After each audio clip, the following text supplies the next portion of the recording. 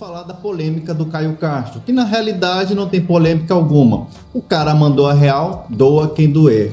Ele disse claramente que não gosta da sensação de obrigação, do cara ser obrigado incondicionalmente a pagar e a mulher nem se mexer para ajudar. Tem uma diferença de você pagar a conta e de você ter que pagar a conta. Agora, pediu a conta, não se mexeu, não perguntou nunca, como se eu tivesse esse papel minha filha, caralho. Ele diz que paga, mas não gosta que isso seja uma imposição.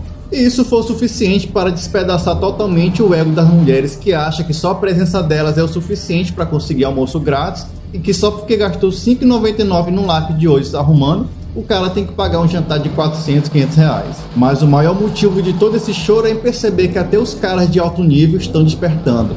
O cara tem fama, dinheiro, beleza e uma mentalidade para impor que se a mulher quer um príncipe do lado dela, ela tem que ser no mínimo uma princesa. E isso já exclui todas as mulheres que estão chorando por causa da declaração dele.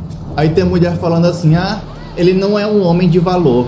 Se o cara tá te buscando em casa e pagando o jantar não tem valor, imagina tu que tá em estado de choque por causa da metade de uma conta. Aí chega um outro falando: "Ah, bancar mulher, pagar salão, academia, cartão de crédito, Pix, escola dos filhos, não sei o que mais. Bancar uma mulher, meu amigo, é você pagar os boletos dela, a fatura do cartão de crédito, você pagar a academia, o salão, é você pagar a escola do filho dela, é você pagar o aluguel, é você enviar um pix para ela de vez em quando. Isso é bancar uma mulher. Primeiro, vamos sair desse teu delírio argumentativo e voltar para a realidade. O significado da palavra bancar é esse: cobrir as despesas, custear ou financiar.